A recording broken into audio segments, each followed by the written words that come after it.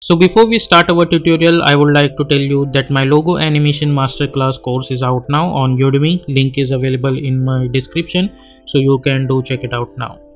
So in today's video, we are going to create this Google logo reveal animation inside of After Effects without using any third party plugin. So if you're new to this channel, then please consider to subscribe this channel and also hit the bell icon to get more updates. So without wasting any more time, let's get started.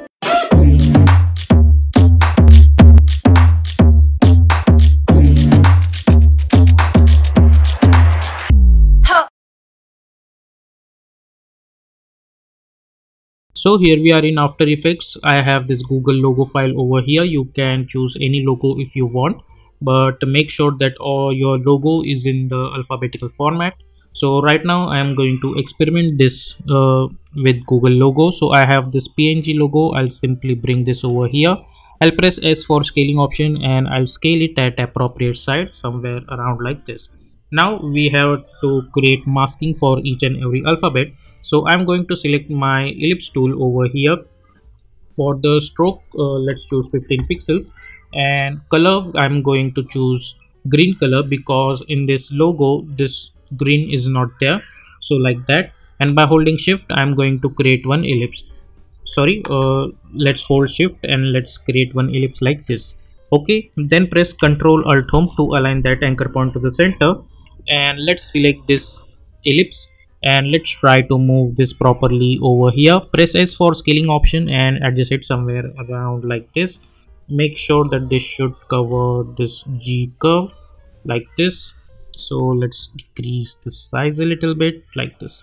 Okay let's try to increase the stroke width. Make sure that it should cover this g like this. Okay. Okay so as you guys can see this g is uh, this ellipse is covering this g. Then press uh, g to select your pen tool. Shortcut key for pen tool is g. And from here to here i'm going to create one stroke like this. So it will cover this portion also. Okay? Like this. Now let's select this ellipse and hit ctrl d to duplicate it. Press v for selection tool and let's move this over here. Press s for scaling option and scale it somewhere around like this and let's try to adjust it over here like this. And let's decrease the scale somewhere around like this and also increase the scale. So it should cover this O. And let's select this and let's bring this at the top. Select this and hit ctrl d to duplicate it again. And let's move this over here like this. Select this hit ctrl d again and let's move this thing over here press s for scaling option and scale properly to cover this thing. Like this. Let's increase the stroke width a little bit. Okay. Hit u. Press g to select your pen tool again. Then from here to here there to here to here i'm going to create one stroke like this. Let's increase the stroke size somewhere around like this I'll select this point and I'll move this a little bit upward. Then we will go to the add menu and we are going to choose round corners. Then go to the round corners and increase the radius. So as you guys can see it should cover this curve. And let's increase the stroke width so it will cover this G also. Okay. Then after that select this pen tool and from here to here we will create one stroke like this. Select this press ctrl alt home then let's try to move this like this. Press G and select this and let's move this upward like this. Okay so we'll get something like this. Select any of this ellipse and hit ctrl D and let's bring this at the top. Press V and let's move this over here like this. Okay press S for scaling option and let's adjust the size somewhere around like this and let's increase the stroke width like this. Okay then hit U press G again to select your pen tool and from here to here I am going to create one stroke and let's decrease the stroke like this. Okay so now we have covered this entire Google logo. Now all we need to do over here we need to apply trim path effect. So simply go to the trim path. Let's go inside this trim path and let's make initial value total zero like this. And let's create one keyframe or uh, let's do one thing. Let's uh, hit control set first we need to make a proper adjustment for this logo.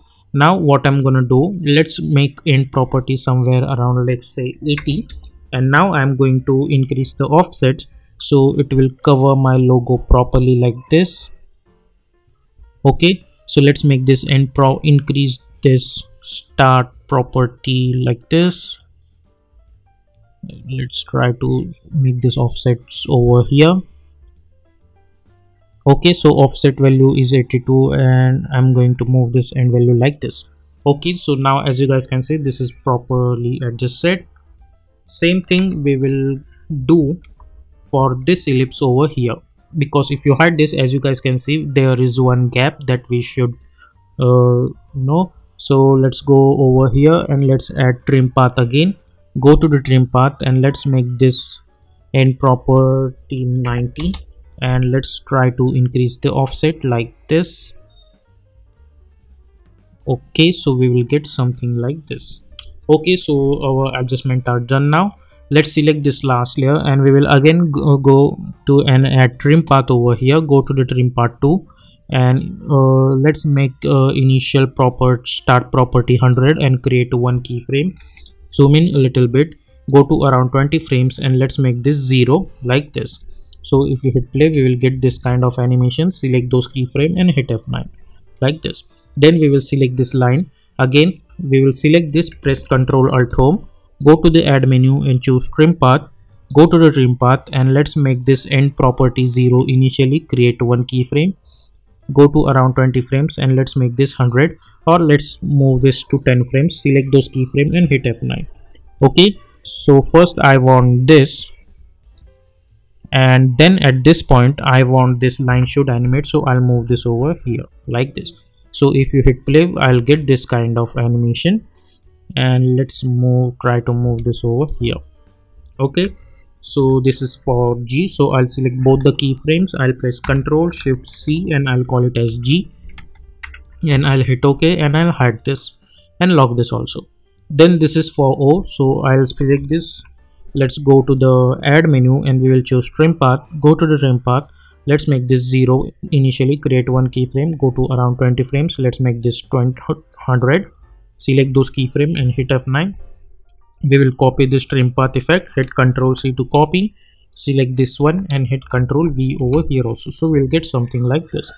Select this one press ctrl shift c and let's call it as o and hit ok. We will hide this and lock this. Select this press ctrl shift c and let's call it as o. Hit ok. We will hide this and lock this. Now we will focus on the on this one also i'm gonna hit ctrl v to apply that trim path effect like this uh, and from this point onwards I want this line should animate. So I'll select this and I'll move this over here. And I'll hit ctrl V again to apply the trim path effect. So I'll get this kind of animation. So select both of them press ctrl shift C and let's call it as G and hit OK. And we will hide this and lock this. Select this layer hit ctrl V to apply the same trim path effect so we'll get this kind of animation. Select this press ctrl shift c and let's call it as l. Hit ok and we will hide this and lock this. Now we will focus on this one. So hit ctrl v uh, to apply the same trim path effect. Sorry let's go to the start. Select this and hit ctrl v like this. And on this line i'll move this over here and i'll hit ctrl v again. So i'll get this kind of stuff. I'll select this keyframe and i'll move this over here like this. Let's try to move this over here also. Okay select all of these layers press ctrl shift c and let's call it as e. So if i enable all of them so as you guys can see i'll get this kind of animations. Now i want them to be appeared one by one. So i'll go to the five frames. I'll select this o move this over here. Go to around 10 frames. Select this move this over here. 15 frames. 20 sorry 20 frames. And this should be at 25 frames like this. Now select all of them press ctrl shift c and i'll call it as mask and hit ok. Select this logo press f4 and choose alpha mask. So if you see this animation now we will get something like this. Now i'll select all of them. I'll press ctrl shift c and i'll call it as one and i'll hit ok. And select this logo file from your project window and we'll bring this over here. Press s for scaling option and we will scale it like this and let's move this over here select this one go to the effect and presets panel and search for fill effect and double click to apply. And with the help of this picker i'm going to choose this blue color. Select this hit ctrl d to duplicate it. With the help of this picker i'm going to select this red color. Select this hit ctrl d to duplicate it. With the help of this picker i'm going to choose this yellow color. Again hit ctrl d choose blue color. Again hit ctrl d choose this green color again hit ctrl d and choose this red color. And again hit ctrl d and we will delete this fill. We will select this seventh layer and we will hit ctrl d. We will select this eighth layer and i'm going to delete this fill effect. And i'm going to apply find edge effect on them like this. Okay. And we will uh, already delete this logo. Now let's go to around five frames. I'll select this seventh one. I'll move this over here so basically we are going to try uh, to adjust these layers one by one like this and like this. So now if i hit play i'll get this kind of reveal for this logo. Like this. Okay? And press ctrl y to create one solid background layer and hit ok and we will bring this downwards like this. Okay? So if you hit play now we will get this kind of logo animation. So select all of them and press ctrl shift c and i'll call it as final logo. Like this you can go to the effect and presets panel and you can search for light sweep effect. Simply double click to apply. Let's move this anchor point initially over here. Like this after the proper reveal like somewhere around over here. I'll create one keyframe at the center hit u go few frame forwards and let's move this center from here to here. So if you hit play now i'll get this then i'll get this animation.